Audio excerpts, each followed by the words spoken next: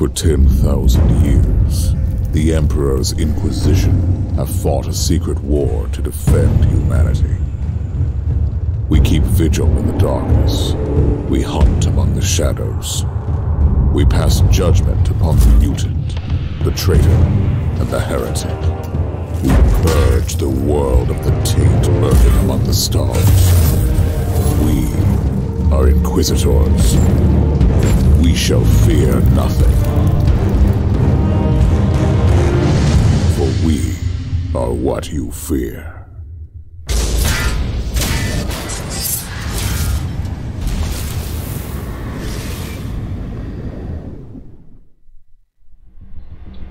Ja, hallo zusammen, herzlich willkommen zu einem Spiel, was ich euch heute mal zeigen wollte. Ich mache mal kurz den Spielsound ein bisschen runter. Ich hoffe, dass auch alles läuft, weil ich nicht äh, das jetzt gerade nicht kontrollieren kann. Und ähm, äh, ja, die Story zu diesem Spiel ist so, äh, im Prinzip ist das hier schon DLC, wenn man so will. Ähm, aber die Story ist so, dieses Spiel ist, als es rausgekommen ist, also Inquisitor Martyr eigentlich, ähm, ziemlich teuer gewesen. Ich habe es mir trotzdem direkt äh, zu Release gekauft für, ich weiß nicht, 60 Euro oder so. Das war echt viel Geld und ähm, die Kritiken und Vorab-Kritiken äh, waren gemischt dazu.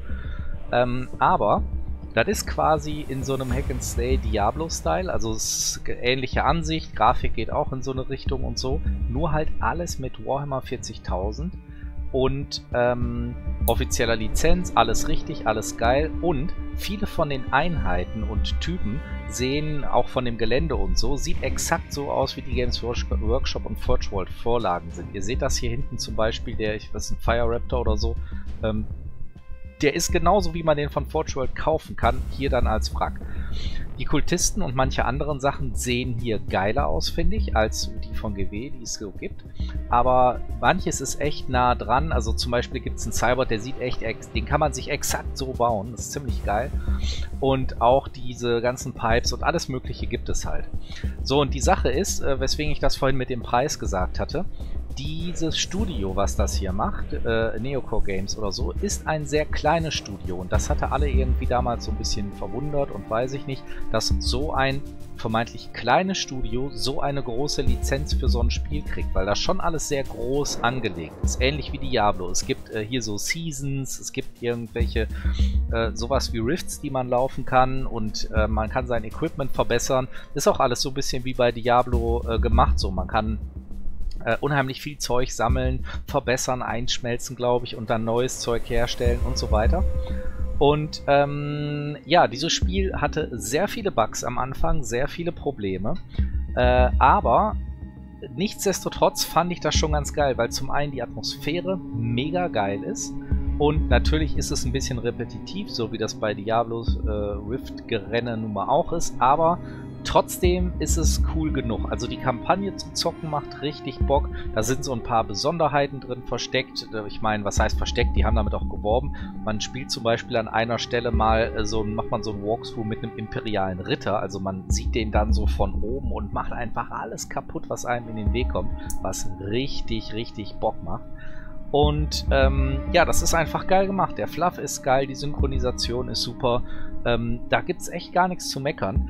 Ähm, natürlich, es waren viele Bugs drin, das Spiel ist immer mal abgestürzt, man konnte irgendwelche Sachen nicht machen, das Level-System hat nicht funktioniert. Das ist aber alles passé, das ist alles gefixt. Ich meine, das Spiel ist jetzt auch schon eine Zeit raus. Und dieses Add-on hier, quasi Inquisitor Prophecy, ist nicht einfach nur ein DLC, sondern man kann das, soweit ich weiß, selbstständig spielen. Also man kann sich auch einfach nur das hier kaufen, statt Martyr und dann noch Prophecy dazu. Und man kann hier nämlich, ihr seht das hier schon, man konnte bei dem ursprünglichen, also man, man spielt immer einen Inquisitor, ja, der mit einem äh, Rogue Trader Raumschiff durch die Gegend fliegt und irgendwelche Sachen macht. So, da ist noch Storyline hinter, die erzähle ich euch jetzt alle nicht. Aber wenn man das mal außen vor lässt und wirklich nur so auf die Rifts geht und auf das Durchzocken äh, und Equipment verbessern, dann ist es halt so, dass man selber ein Inquisitor ist, der durch die äh, Galaxie quasi reist, zu verschiedenen Schauplätzen, verschiedene Sachen macht und verschiedene Gegner auch hat und ähm, immer mehr Equipment sammelt und besser wird und so weiter. Und da konnte man am Anfang zwischen, äh, man konnte seinen Inquisitor auf drei unterschiedliche Wege gestalten. Ähm, was ich schon sehr geil finde, weil ich habe ja auch eine 40k Inquisitionsarmee und ich habe das damals so gemacht, aber ne, sechste Edition, ich habe das ja so gemacht, dass äh, ich quasi alle Flügel bediene. Also ich hatte die Hexenjäger, die Dämonenjäger und die äh, anderen Typen, ich weiß nicht mehr, wer die dritten waren. Auf jeden Fall äh, Alienjäger, Xenos, äh, Ordo Xenos, genau. Alles gemacht, ja, mit eigenen Inquisitoren, teilweise auch Umbauten, ne? Wer sich vielleicht noch erinnert, wer damals schon die Battle Reports gesehen hat mit Pfeife und so, ähm, Inquisitor Elvis natürlich, ja, unvergessen. Ähm, sehr geil. Und ähm, ja, und so kann man sich die hier im Prinzip gestalten. Am Anfang nur unterschieden zwischen einem, der psionische Fähigkeiten hat, einem, der eher so ein, so ähnlich wie der Typ hier gerade im Vorspann war, so voll auf Schnauze und total fett gerüstet und weiß ich nicht. Ähm, oder äh, sowas wie einen Assassin. Und die, die, kann man unterschiedlich ausrüsten, also und dadurch auch in unterschiedliche Rüstung, äh, Richtungen gehen, weil die Waffen nämlich bestimmen oder vor allem bestimmen, welche Klasse man quasi spielt. Also so kann man den Assassinen, äh, dem kann man so ein Scharfschützengewehr geben, dann ist der sowas wie ein, ähm, wie heißt ein Infiltrator, nicht Cadidus, sondern Eversor, glaube ich, ne? Ist ein Eversor Assassin? Ne, Eversor ist der mit dem Totenkopf. Ich weiß nicht, also ihr wisst, was ich meine, ja? Der schwarze Assassine, der aussieht wie Ninja, aber so ein Scharfschützengewehr hat. So kann man eher zocken, ja? Und dann immer alle da platt machen und immer sneaky hin und her. Man kann aber auch eben zum Beispiel einen Todeskult-Assassinen eher draus machen, ja? Gibt man ihm zwei Energieklingen und dann rasiert der da alles im Nahkampf weg und so. So kann man die halt alle auslegen. Bei diesem Add-on hier konnte man und kann man äh, genau, ja, ah, geil, hier sind ja auch meine anderen drin. Äh, den hier habe ich eigentlich immer gespielt als ersten. So ein Ether Walker und das ist quasi so, äh, ja, ne, mit Warp und Dings. Ich habe den auch auf böse gemacht. Man kann die dann auslegen, ob der ein radikaler Inquisitor oder ein weiß ich nicht was ist. Und, ähm, da, äh, ne, also je mehr man den Warp einsetzt, desto krasser wird das auch. Dann erscheinen manchmal noch Dämonen, weil man hat die Macht überansprucht und was weiß ich. Oder man kriegt äh, teilweise aber auch irgendwelche Benefits. So habe ich den gemacht, so richtig voll krank. Ähm, die habe ich mal gestartet, weil ich dachte, ich will das mit den Assassinen mal ausprobieren. Macht auch Bock, ist ganz cool. Mir fehlt im Prinzip noch so ein Fetter, äh, also in fetter Rüstung und sowas. Äh, ja, und mit diesem Add-on konnte man auf jeden Fall sich auch einen Mechanikus-Typen machen. Und das fand ich natürlich sowas von geil, also ein Tech-Priest, ähm, dass ich dachte, Alter, das muss er haben. Wir können ja mal gucken, ihr seht hier die, die Sachen nämlich, die es gibt. Tech-Adepten, Psyker, Assassin oder eben ein Crusader. Crusader habe ich noch nicht, könnte man mal mit starten. Und ihr seht das hier unten schon, das ist genauso wie, äh, wie bei Diablo äh, genau, hier kann man quasi erstmal so äh, durchspielen und dann später in den Challenge-Mode gehen. Man kann das als Seasonal Character machen. Das ist dann so, ja, eben wie, wie bei Diablo. Der ist dann irgendwann wieder weg. Aber ähm, wenn man damit dieses und jenes erreicht, dann ist das super geil und der, weiß ich nicht, kriegst du irgendein tolles Schwert oder was weiß ich. Ähm, das hier kenne ich noch nicht. Das, ah, okay, doch, gut. Dass man das schon hier einstellen kann, wusste ich gar nicht. Assault Crusader, Tactical Crusader, was natürlich ganz geil aussieht, ich kann den leider nicht drehen. Oder ein Heavy Gunner. Assassin gibt es als Sniper, ja, wie heißt, ich meine, das ist ein Eversor, oder? Todeskult Assassin, nee, Todeskult sind die Nahkämpfer. Was weiß ich. Infiltrator, sieht natürlich sehr geil aus. Eradikator, okay. Den Psyker als empirischen, als Etherwalker, so habe ich den gemacht. Oder als Scryer, wie auch immer so einen Tech-Adept als Secure-Tor, Dominus oder Skitarius. Das sind, glaube ich, ja, ne, je nachdem, ob der eher auf hier Nahkampf oder Fernkampf ist, ähm, sehr, sehr geil. Ähm, ich hatte überlegt, um euch hier einfach mal einen Eindruck zu geben, äh, würde ich einen von meinen bestehenden nehmen und einfach mal ein bisschen da durchrennen. Ähm, wir könnten aber natürlich alternativ auch einen neuen Charakter machen und nochmal starten.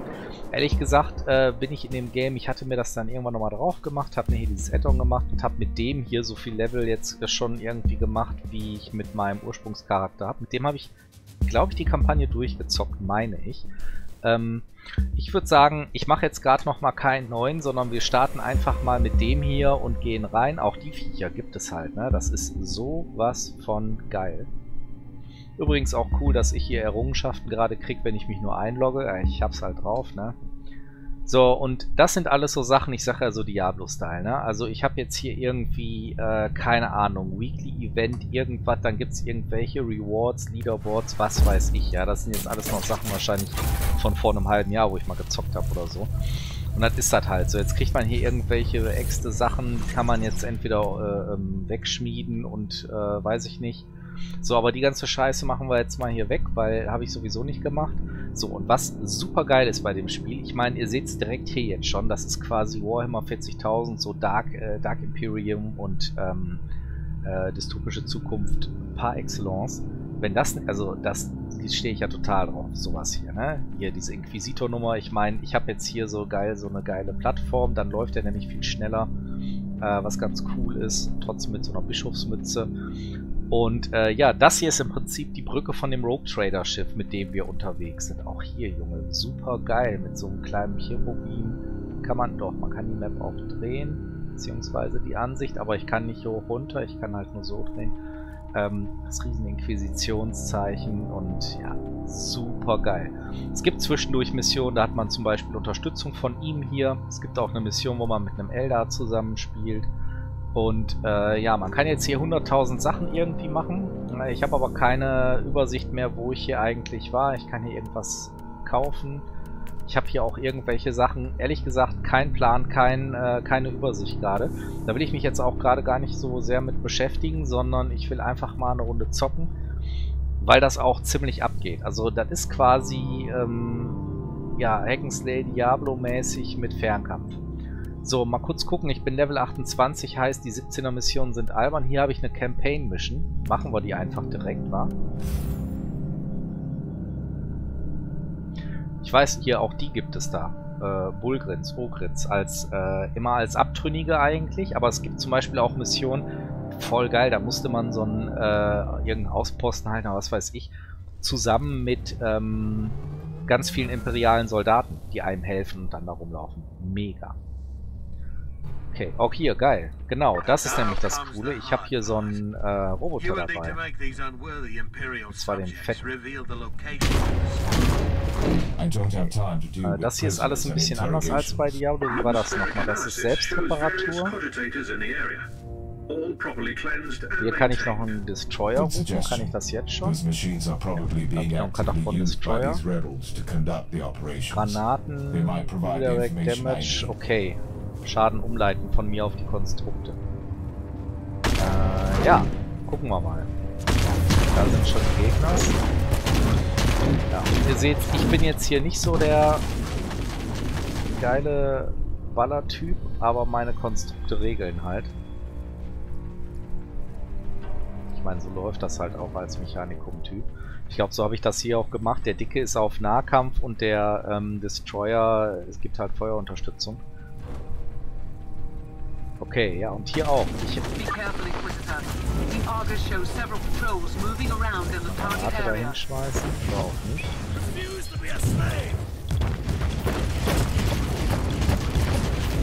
Oh mein Gott, jetzt ist der Automaton down. Äh, und ich bin auch down. Alles klar, das ging ja schnell. Äh, ja, muss man offensichtlich ein bisschen vorsichtiger vorgehen hier. Deswegen das gleiche nochmal direkt wieder im Katafon. Ähm, hier habe ich, ich weiß nicht, ob ich unbegrenzt Leben habe, weil normalerweise ist das so, dass man, wenn man ähm, zu häufig stirbt, dann ist die Mission direkt ein Fail. Kann aber auch sein, dass das hier im, äh, in der Kampagne nicht ist, sondern nur, wenn man wirklich da richtig die Rifts läuft. Äh, ich kann die Leute hier, meine ich, nicht auf Angriff klicken.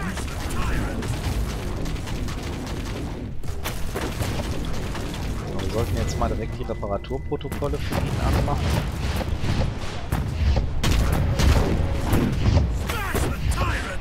Weg.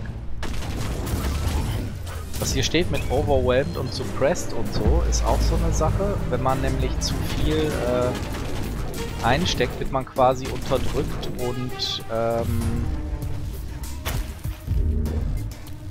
und muss erstmal in Deckung gehen, weil wenn man in Deckung geht, wie war das nochmal mit Leertaste, glaube ich, oder auch nicht, dann ähm, sammelt der sich quasi wieder. Oh, cool. Ich kann selber mit dem Ding jetzt rumballern.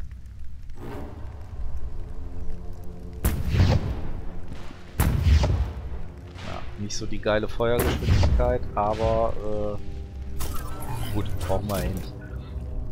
So, hier geht's weiter.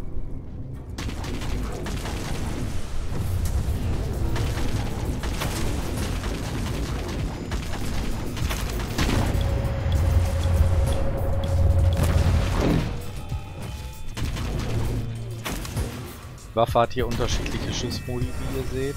Oh, und das Ding ist wieder down. Nee, ist noch. Ah, noch rechtzeitig die Selbstreparatur gemacht. Ja, aber jetzt ist er down.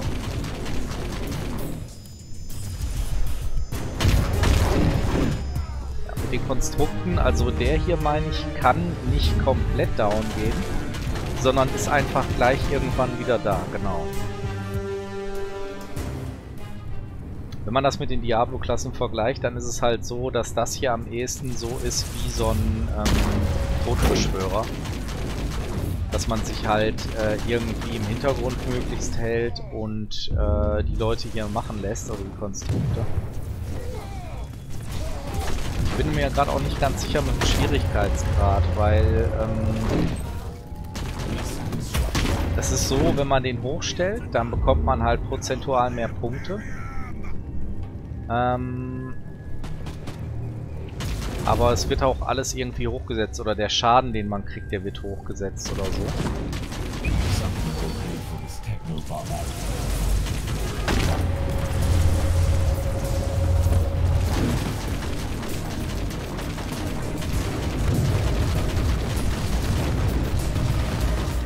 Waffe überhitzt.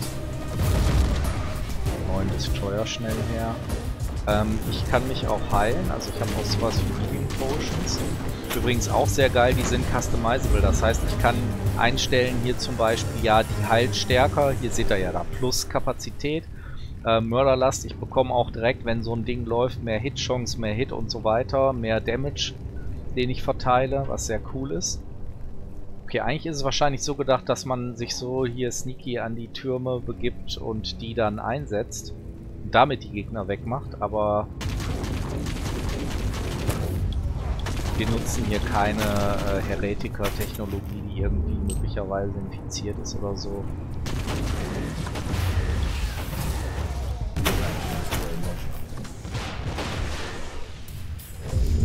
Ordentlich Schaden, der da reinkommt. Also der Dicke da, obwohl das Protokoll schon läuft, das Reparaturprotokoll,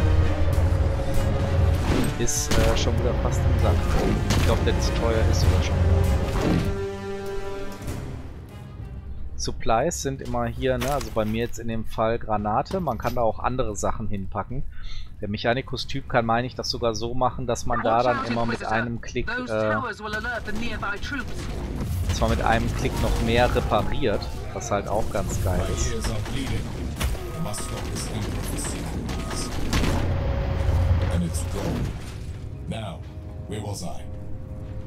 Okay. So, und das ist jetzt so ein bisschen, also ich muss F gedrückt halten, solange ich das mache, geht hier der Balken hoch, aber in der Zeit kommen eigentlich auch Gegner. So ist das hier gedacht. Ja, und da kommen sie schon.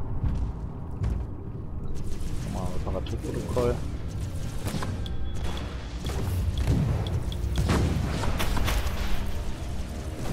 Das Steuer schon wieder quasi weg. Hier oben ist sowas wie Energie, Dataflux, irgendwas. Und ähm, solange ich davon was habe, kann ich diese Sachen hier auch alle einsetzen.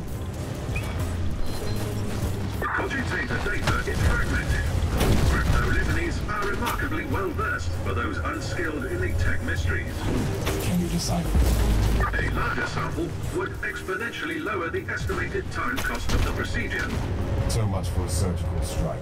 I will clear the areas and access the other cogitators. Ja, ich, ihr seht, ich sammle hier einen Arsch voll Equipment oder auch nicht, weil ich nicht draufklicken kann, doch. Äh, Examine a Cogitator haben wir gemacht und jetzt noch die Remaining. Okay. Ah, das ist ein Teleport Beacon, damit komme ich dann immer. Ah, nehmen wir ihn einfach mal. Komme ich an irgendeine andere Stelle im Schiff?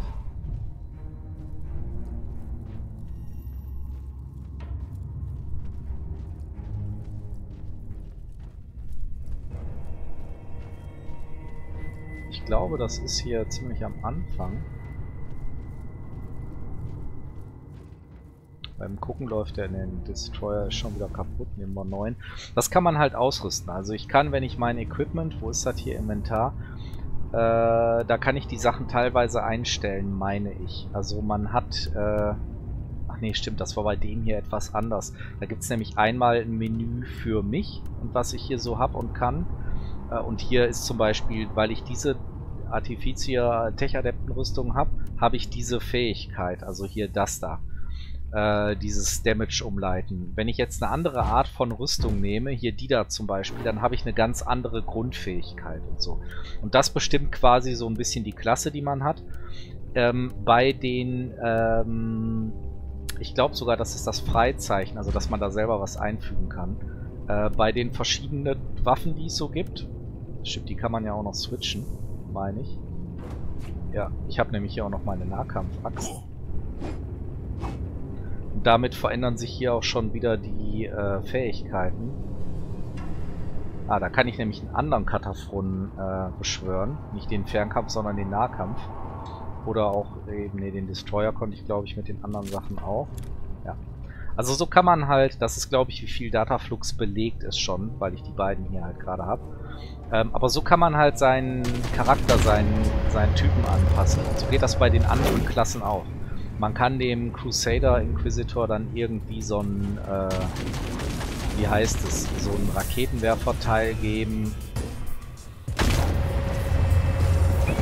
Ich meine, das hier ist, solange ich das drauf habe auf den Gegnern, bekommen die erhöhten Schaden durch äh, meine Konstrukte. Damage target uh, channel beam as long as active. Genau. Attacking will deal additional damage. Äh, 25% Damage. Das ist nämlich echt ganz cool. Dass hier der Katapon einfach ständig down geht, ist nicht so schlimm, weil zack, machen wir einfach wieder neu. Ja, da hat zum Beispiel der, ähm, wie heißt der, der, der Psioniker, der hat dann hier so Warp-Dingens Energie.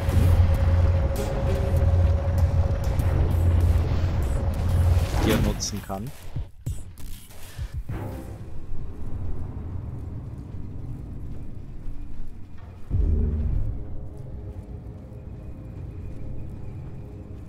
keinen Plan. Ich will jetzt mal zu den Dingern hier. Ich weiß gar nicht, ob es hier eine Map gab. Jo, sogar. Das heißt, man muss gar nicht wie so ein Lappen hier rumlaufen, sondern man kann da doch einfach direkt machen. Ich glaube, Fässer, genau, kann man auch zerschießen. Es gibt alles mögliche hier, unterschiedliche Waffentypen, also alles aus dem 40k-Universum richtig. Ne? Also ähm, ich habe, glaube ich, hier wirklich diesen Plasma-Caliber oder so. Man kann ähm, aber auch Munitionswaffen nehmen. Und dann ist das nicht hier wie mit diesem Hitzesystem, dass man halt irgendwann überhitzt, sondern da ist es dann so, dass, äh, dass man quasi immer nachlädt.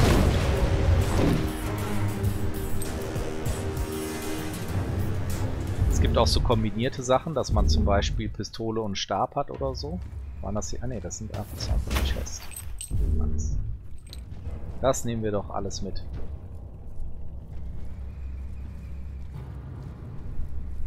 Also, wenn ihr euch mal hier die Umgebung und so anguckt, ich finde, das ist vom Style schon richtig fett. Auch die Typen hier, also die Minis quasi, die es ja genau so dann zu kaufen gibt, das ist schon geil. Ne? Kann man sich auch Anregungen holen wieder fürs Bemalen, weil zum Beispiel der hier ist ja ziemlich Standard, aber ziemlich geil auch mit dem Weathering. Also hier so ein bisschen Zeug abgeschabt und ähm, ja, Öl weiß ich nicht. Nee, hat er nicht wirklich. Wäre halt noch geil da dran. Finde ich schon richtig cool. Also der Style ist super. Dieser 40k-Style, ich meine bei äh, nichts geht äh, so von der von dem Flair da drüber wie bei dem ähm, Deathwings Base halt Ding, weil man da wirklich denkt, man läuft durch solche riesigen Kathedralenteile und so. Äh, ich glaube, da hat die uns gerade vorgewarnt, dass das hier irgendwie Area bla, habe ich nicht richtig zugehört, weil ich hier gelabert habe. Ähm, wären wir fast verreckt dran, nämlich. Aber halt nur fast. Der repariert sich, der leider nicht. Ich hatte auch mal hier irgendein Setup, dass ich die selber reparieren kann, aber keine Ahnung. Okay, er kriegt irgendwie HP dazu.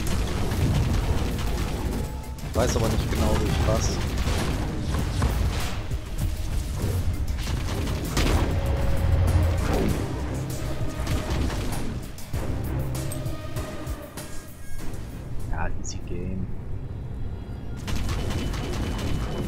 Krass ist immer, wenn man sowas wie Zwischenbosse hier hat. Also wenn, äh, ja, vielleicht seht ihr das gleich.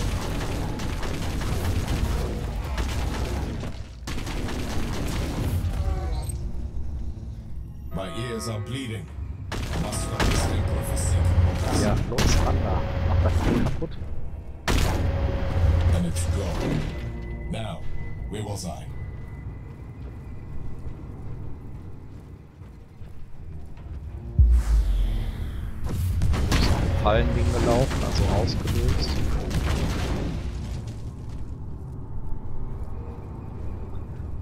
Ähm, also Inquisitor Mechanicus mäßig ist das hier schon ganz geil. Allerdings gibt es tatsächlich noch ein Spiel, das werde ich euch irgendwann demnächst auch mal zeigen. Ich glaube, da müssen wir lang. Es gibt tatsächlich noch ein Spiel, oder da, naja, äh, noch ein Spiel, was noch besser diese Mechanikum-Sachen macht. Ähm, ich habe den Namen aber gerade vergessen, wo man, also kann ich euch eigentlich gar nicht beschreiben, da spielt man gegen Necrons, ist rundenbasiert, also muss man schon drauf stehen auf diese Sachen. Aber wenn man darauf steht, ist das mega geil, weil mehr Mechanikum als da geht gar nicht. Denn, denn das ist, ähm, toll, meine Leute haben keinen Bock oder was? Okay, denn das ist richtig, richtig cool.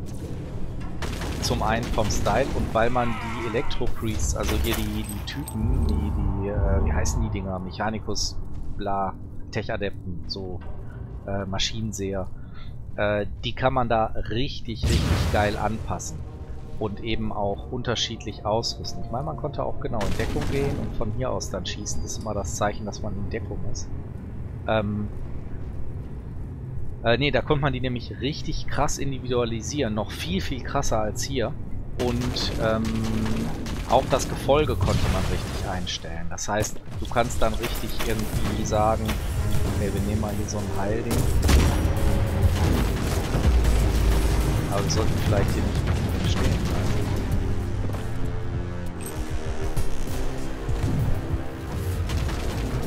Äh, ne, man kann richtig irgendwie sagen, welche Arme, welche Ausrüstung, was für Module und Zusätze die haben, äh, was man an Begleitung mitnimmt. Also man kann Skitari einsetzen, aber auch diese, ähm, wie heißen die denn? Die Terminatoren vom Mechanikum. Äh, ich weiß es echt nicht mehr. Die auf jeden Fall auch ganz geil aussehen. Und dann kann man quasi wie mit so einem kleinen Gefolge da rumlaufen, immer durch solche Grüfte und so. Ähm, richtig, richtig cool. Sehr stylisch. Zeige ich euch auf jeden Fall mal demnächst, wahrscheinlich mal hier nach. Aber ich hatte so geguckt. Okay, Doppelturm. Aber ich hatte halt mal geguckt, was hier so an äh, äh, Games gerade noch installiert ist bei mir. Ich hatte ja gesagt, ich habe irgendwie, weiß ich nicht, 20 Plus Workshop oder noch mehr. Ähm, und sind noch ein, zwei spannende Sachen dabei. Also zum Beispiel, äh, ich meine, das Spiel hier ist richtig, richtig geil. Wenn man das richtig zockt, ist es schon mega. Ähm, aber zum Beispiel habe ich äh, Blabla sowieso Gladius. Das ist so eine Art, wird beworben mit, ja, ist wie Civilization, aber ohne Diplomatie. Also dass man einfach die ganze Zeit schön geballer und geheizt hat. Fand ich am Anfang ganz cool, aber echt nicht lange. Also da war ich ziemlich enttäuscht von. Äh, obwohl es schick aussieht. Macht mal Bock so eine Runde. Vielleicht spielen wir da mal einmal durch hier. Ähm, aber insgesamt, naja, aber das würde ich euch auf jeden Fall noch ganz gerne zeigen. Und eben das Mechanicus-Ding. Ich weiß jetzt echt gerade nicht, wie es heißt. Ne, ich weiß es beim besten Willen nicht. Oh, mehrere Rogrins. Sehen doch mal richtig geil aus, oder?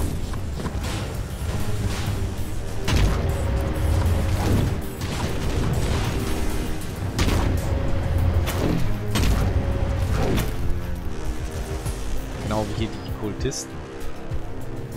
Die eigentlich alles Imps, die dann irgendwo übergelaufen sind. Also sehen ein bisschen noch so aus wie so Kardianer, aber schon auch anders. Richtig cool gemacht.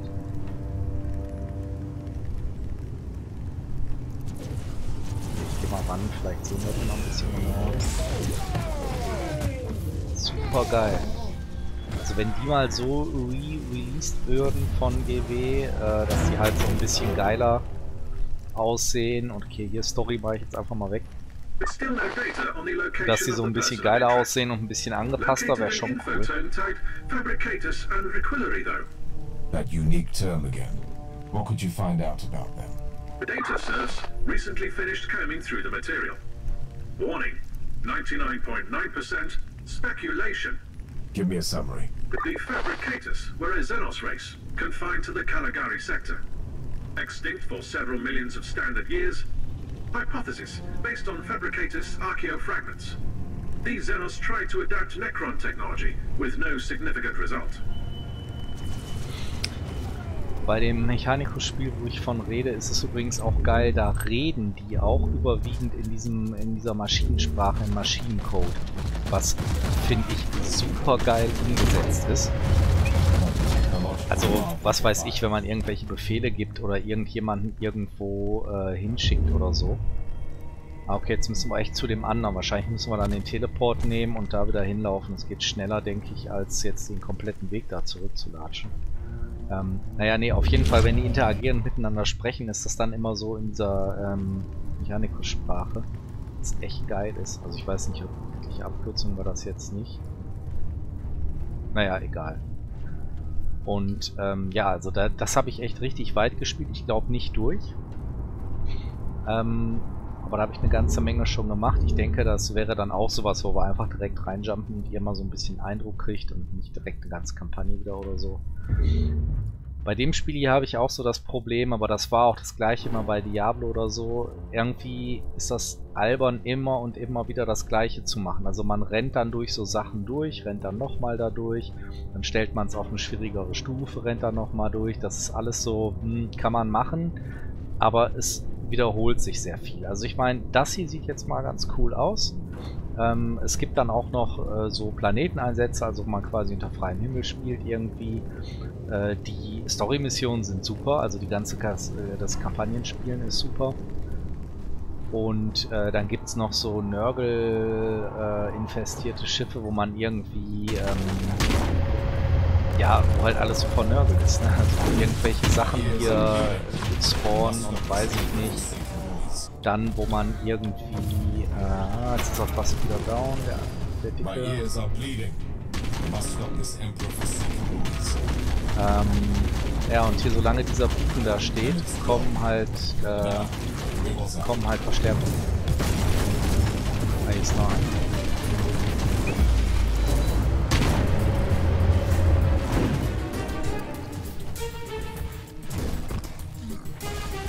Überhitzt, dann sollte man eigentlich switchen auf Nahkampf. Machen wir mal ein bisschen Nahkampf. Holen wir auch mal hier den Nahkampf-Cutter von. Mega geil übrigens, wie er aussieht mit dem Teil hier. Ich habe auch Axtruhe. Warum ist die von dem viel fetter als meine? Naja. Ähm... Nee, aber hier ist halt dann das Problem, finde ich, dass man immer und immer wieder das gleiche macht und dass das einfach irgendwann so Ah, weiß ich nicht. Ne? Also wenn man, man hat irgendwann alles gesehen. Also es gibt eben im Prinzip grundlegend nur ein paar verschiedene Settings, sag ich mal. Und äh, die hat man irgendwann mal alle durch so. Und dann, ja, danach wiederholt sich das halt alles. Ich weiß gerade nicht, ob die immer hier zusammengesetzt werden.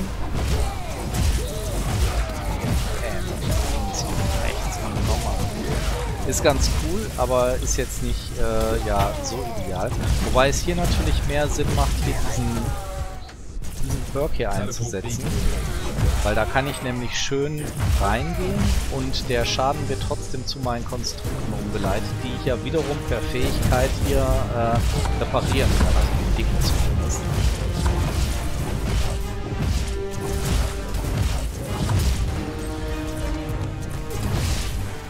Kommt auch immer auf die Gegnertypen an. Also zum Beispiel gegen so einen Chaos Cybot, am besten Nurgle Chaos Cybot würde ich oder Korn würde ich nicht unbedingt in den Nahkampf gehen mit dem Typen hier. Ähm, da wäre dann Fernkampf besser. Aber so wie da dieser Ogrin gerade, oder Bulgrin, ich weiß nicht, eins von beiden war es ja, der diesen fetten Granatwerfer da hat, und seine ganzen Untergebenen um ihn rum, die ihn noch schützen, da macht es halt Sinn, mitten reinzugehen, einfach alles kaputt zu hauen. Aber das kann man sich halt so gestalten, wie man selbst will, ne? Und äh, wie auch so der eigene Spielstil ist. Ja, das hier meine ich, das ist bei dem anderen Spiel geiler. Also man, man versteht ihn ja, der spricht ja ganz normal Englisch einfach. Der tut zwar so ein bisschen so in seiner Wortwahl und so, als wäre er halt so ein Mechanikus-Typ, aber das ist bei dem anderen Game wesentlich geiler. Sehen wir beim nächsten Mal. The Savant has a fearsome reputation in my circles. Hopefully the agents of the Ordos have a similar reputation in your circles. Jetzt haben wir die Mission nämlich geschafft, haben einen neuen Hinweis bekommen quasi, womit wir dann äh, womit wir dann äh, beim nächsten Mal ja, der ist auf jeden Fall im Nahkampf leichter kaputt zu machen als äh, im Fernkampf. Ähm, nee, aber wir haben jetzt quasi einen neuen Hinweis gekriegt und dann werden wir irgendwie auch eine neue Mission kriegen, mit dem äh, Rogue Trader Schiff da irgendwie hinspringen können und so. Und hier sind wir, genau, ich kann jetzt hier auf Quitch, also ich kann auch hier noch weiter durchlaufen, gucken, ob es noch irgendwo Loot gibt oder so. Äh, aber wir können auch einfach Quit machen, dann teleportiert er sich jetzt hier wieder, ich weiß nicht, was mit seinen Leuten hier passiert, das geht automatisch oder so. Äh, teleportiert man sich jetzt wieder zurück Jetzt kommt auch mal ein bisschen sowas wie Einsatzbesprechung. Man kann neues Zeug kaufen. Eventuell hat man gelevelt, so wie ich jetzt hier gerade. Und man kann, genau, das sind immer so Sachen, die man quasi irgendwann eh kriegt, sag ich mal, aber die man sich eigentlich freispielen muss. Und man kann, jetzt muss ich mal gucken, Kabal ist glaube ich sowas wie eine Gilde, habe ich irgendwie nicht. Ähm, Character, genau, so. Und man kann nämlich, es gibt unheimlich viele Tech oder, oder Trees hier, sag ich mal.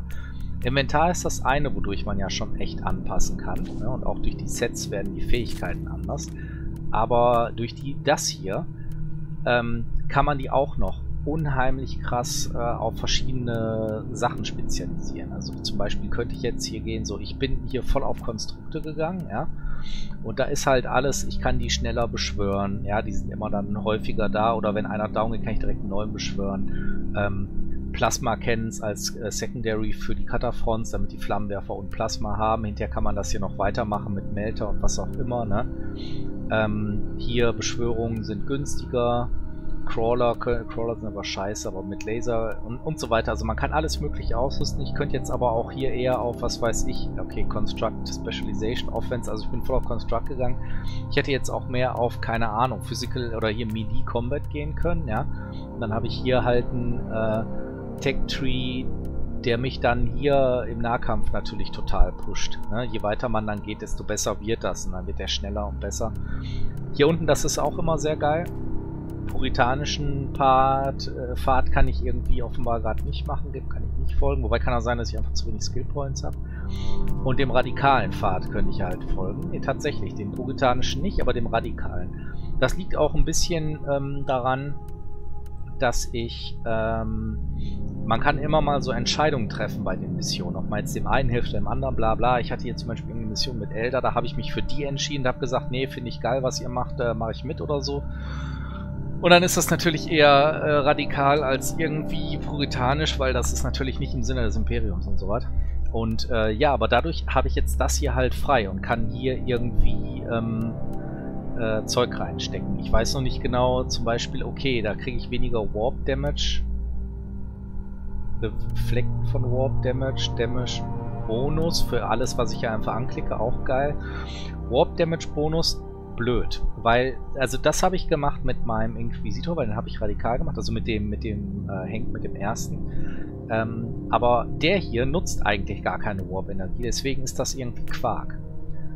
Äh, naja, auf jeden Fall. Ihr habt es gesehen, man kann unheimlich viele verschiedene Sachen machen. Auch hier bin ich irgendwie, genau, mehr auf dem radikalen als puritanischen Pfad. Da habe ich schon äh, Sachen reingesteckt. Total doof, aber ging nicht anders. Wird automatisch unlocked. Was haben wir hier? Okay, das macht einfach die Skills frei. Das, also das bringt mir jetzt noch nicht so viel. Aber äh, ja, das ist nicht nur hierfür, sondern auch die Missionen sind davon ähm, abhängig. So, ne, wie man sich da entscheidet und was man macht. Ich kann jetzt mit der labern für den nächsten Story-Einsatz. Ich kann aber hier auch direkt, das ist quasi sowas wie mein Hauptmenü, wenn man so will, in die Schiffsbrücke. Kann ich auch direkt auf Multiplayer-Games, PvP-Games starten oder was auch immer.